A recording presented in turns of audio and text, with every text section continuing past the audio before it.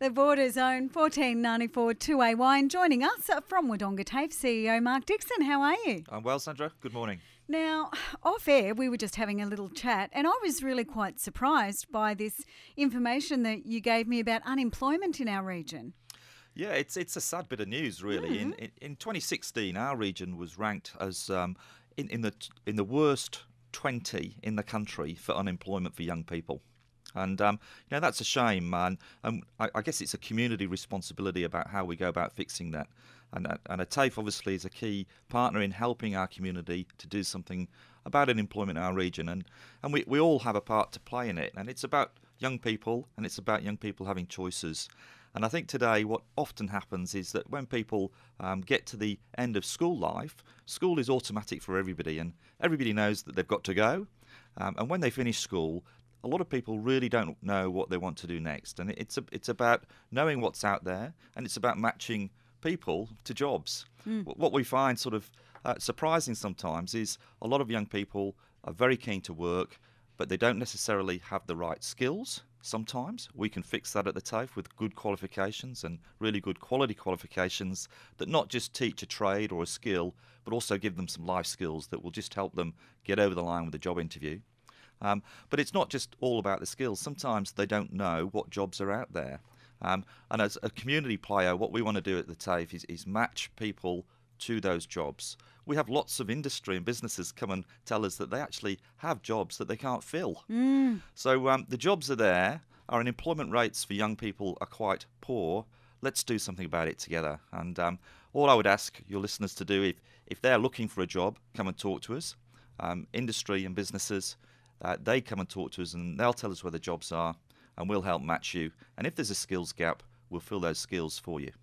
Now, obviously, you're talking about you know young people, but this obviously we've we've spoken before. This applies for other people who are maybe getting back into the workforce for whatever reason, or even you know having a, a change in their employment, deciding to go down a different path.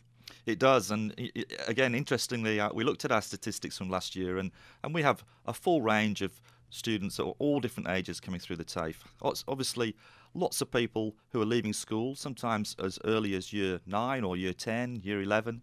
Um, so there's a big cohort around that age group. But you're right, our oldest student last year was 84. Oh. So we're in a in, in a new, um, I guess, paradigm now where people will move jobs on a regular basis, and and people want to move for promotions, but also a completely second career choice mm. and a, mm. a, different lifestyle. So um, the the need to provide people with qualifications all through life has never been more important. Mm, and it doesn't cost us anything to pop in and have a chat and get some information. It's the information, and I just wanted to talk a little bit about what we're trying to do to really make a step change in giving people that information. So, what we've got uh, that's going to hit the streets very, very soon is what, what we're calling our new mobile information, information centre.